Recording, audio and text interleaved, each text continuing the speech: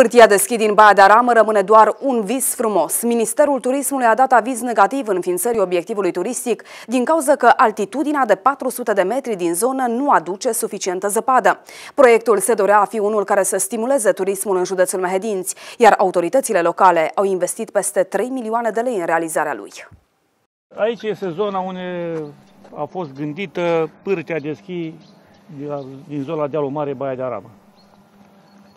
Aramă. Erau cele, o pârte sintetică în proiect și pârte de iarnă, care era în zona amenajată. În iarna lui 2013, autoritățile din Baia de Aramă semnau un proiect prin care puteau să acceseze 2,5 milioane de euro, bani europeni pentru construcția unui complex turistic, două pârtii de schi de iarnă și artificiale de vară, patinoar și alte facilități pentru turiști. Localnicii din zonă sperau și ei că o astfel de investiție ar dezvolta partea de nord a județului și ar aduce un plus în turismul mehedințean. E bună și aia, poate, pentru tineret. Dar pentru noi ai bătrâni? Numai că nu prea pot să o facă, adică... Da. S-ar putea întâmpla să o poată face cu bani de la Uniunea Europeană, mai cu de la Consiliu, pot să facă și pârtea, e bună și aia venită. Fiind localnic, vă spun că acum vreo 30-40 de ani ar fi fost, dar s-a schimbat clima. Nu mai e zăpadă? Nu, puțină. O lună, maxim două. Acolo se ținea concursul de schi și de săniuș per liceu în vremea când făceam eu școală. Părtea asta ar fi fost un lucru bunișor, pentru că e terenul e frumos, putea să facă niște vile, niște case din ăștia de vacanță, nu e un lucru rău.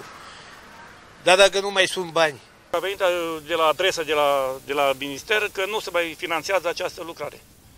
De ce nu se finanțează? Nu se pentru, că, pentru că răspunsul lor este că e o zonă care nu se pretează pentru sporturile de iarnă.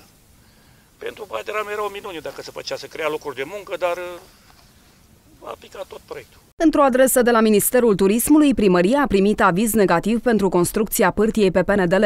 Orașul este la mai puțin de 800 de metri altitudine, într-o zonă care nu se pretează practicării sporturilor de iarnă din lipsă de zăpadă, spun autoritățile de la centru. Asta după ce s-au făcut studii de fezabilitate pentru proiect și s-au alocat fonduri locale. Principalul motiv este neconformitatea studiului de fezabilitate pe care proiectantul deci nu l-a făcut la standardul prevăzut de lege. Ministerul a sesizat uh, aceste inadvertențe și automat uh, a respins uh, finanțarea plus că mai sunt alte condiții care trebuie să îndeplinite de proiectul respectiv, să fim în, în cuprins și în hotărârea de guvern care reglementează domeniile schiabile din România. Noi ne situăm la o altitudine de sub 800 de metri și nu ne-am încadrat nici de cum în acest proiect.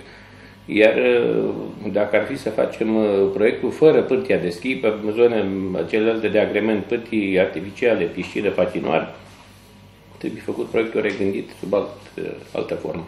Pârtia de schi din Baia de Aramă rămâne așadar doar un vis frumos. Baza de agrement din nordul județului se dorea a fi un plus pentru turismul mehedințean, pentru că zona a început deja să se dezvolte rapid. Pe lângă clisura Dunării, partea de nord, ce cuprinde comunele Izverna, Ponoarele sau Baia de Aramă, a devenit tot mai atractivă pentru turiști.